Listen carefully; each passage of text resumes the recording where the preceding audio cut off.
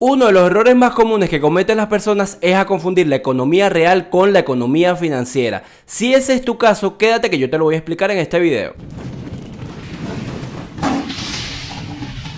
La economía real y la economía financiera se refiere a dos cosas distintas a pesar de que están íntimamente interconectadas. La economía real se refiere a la producción, distribución y venta de bienes y servicios. Es la actividad económica tangible que llevamos a cabo dentro de la vida cotidiana. La fabricación de productos, la agricultura, el comercio, la construcción, los servicios públicos, todo lo que tiene que ver con el valor agregado de la producción, es decir, con el Producto Interno Bruto, si tú lo estás aumentando, si tú estás colaborando para ello, entonces está dentro de la economía real. Emprendedores, empresarios y los dueños de negocio.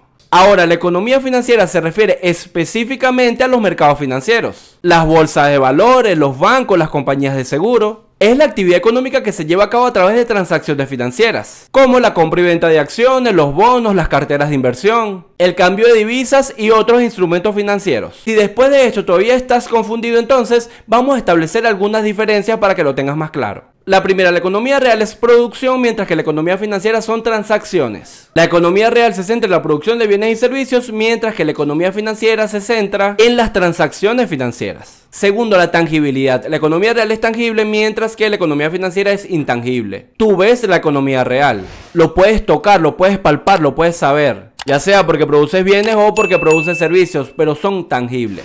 Mientras que la economía financiera es intangible porque todo se produce a través de las transacciones financieras. Tercero, podemos diferenciarla por el tipo de inversión. La economía real se centra en la inversión en producción de bienes y servicios directamente, mientras que la economía financiera se centra en la inversión de los instrumentos financieros y la gestión de riesgo. Cuarto, la diferencia de tiempo. La economía real implica procesos de producción a mediano y largo plazo, mientras que la economía financiera se enfoca en operaciones de corto plazo. Y número 5, el impacto en la economía. La economía real tiene un impacto directo en la economía, mientras que la economía financiera tiene un impacto indirecto en la economía. Podemos resumirlo de la siguiente manera. La economía real y la economía financiera son dos aspectos completamente diferentes pero que están interconectados. La economía real se centra en la producción de bienes y servicios y la economía financiera se centra en los mercados financieros y las transacciones financieras. Ambas son importantes en el conjunto y están intrínsecamente conectadas. En el día de hoy la economía real no puede vivir sin la economía financiera y la economía financiera no puede vivir sin la economía real. Se necesitan poder desarrollar ambos aspectos para que así las economías prosperen y obtengan riqueza.